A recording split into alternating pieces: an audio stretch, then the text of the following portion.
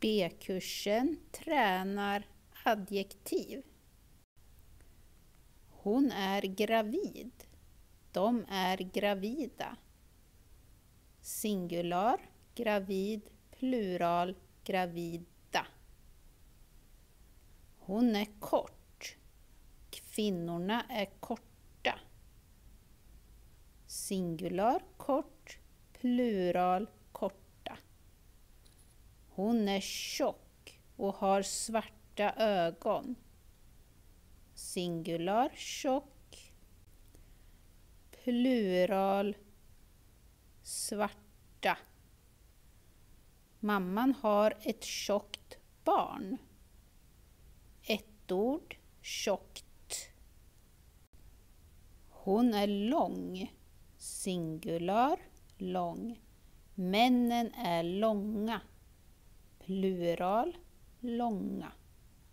Han har två bruna ögon. Plural, bruna. Ett öga kan vara brunt. Singular. Brunt eftersom det heter ett öga. Hennes jeans är svarta. Jeans räknar man som plural. Svarta. Hans glasögon är runda och äpplet är runt. Glasögon är plural. Runda. Äpplet, det heter ett äpple. Och då blir det runt. Han är en duktig man. En man, duktig. Barnen är duktiga. Flera barn, duktiga. Hon är en snäll och fin kvinna. En kvinna, snäll, fin. Han är en glad man med ett vackert leende. En man, glad. Ett leende, vackert. Hon är en barnrik kvinna. En kvinna, barnrik. Hon har många barn. Barn, plural. Många, alltid plural. Alltid samma ord. Hon har små ögon. Ögon, plural. Då heter det små.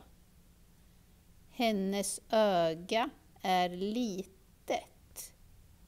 Om det är singular, ett öga, då använder vi litet. Om det är ett ord. Om det är en hund till exempel, så är hunden liten. Så liten eller litet för en sak, singular. Små för flera, plural. Hon har en stor och glad mun. En mun, stor, glad. Hon har en rosa fin blus. En blus rosa heter alltid rosa. Fin. Det är singular. Man säger en rosa bil. Ett rosa hus. Flera rosa tröjor. Rosa heter alltid rosa. Hon har ljust hår och är en vacker kvinna. Det heter ett hår och hår är både singular och plural. Det ska vara ljust eftersom det är ett hår. En kvinna är vacker. Men ett litet barn är vackert. Ska vi skriva den också? Titta här, det heter ett barn och då blir det vackert och det blir litet.